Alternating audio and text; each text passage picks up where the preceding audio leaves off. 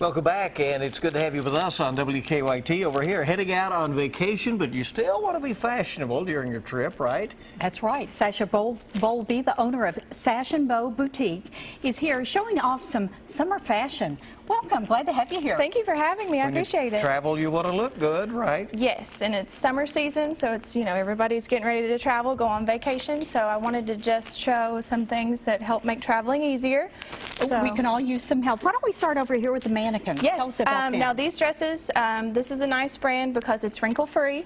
So you Great. can pack it in your suitcase, um, no wrinkles. Um, just get it out and put it on when you're ready to go. That's always one of the challenges, right? You get everything in your uh, in your suitcase, it gets all wrinkled up, but you say this Yes, uh, this helps wrinkle that. free. Yes, you can pack it away and get it out and put it on. And great colors, too. Nice colors. Yeah, yes. Still looks great for a trip. Yes. Oh, What about some of the items here? Some of the items that I've got out here, you know, it's not summer without your sunglasses. So some of the big trends for summer right now are big oversized frames, um, frames that have designs around the lenses, um, and then a cat eye frame is always popular for the season. So I tried to touch base with those things. Looks was good. thinking of Bill and Cat yeah, Eyes. right. That yeah, would be good. That would work.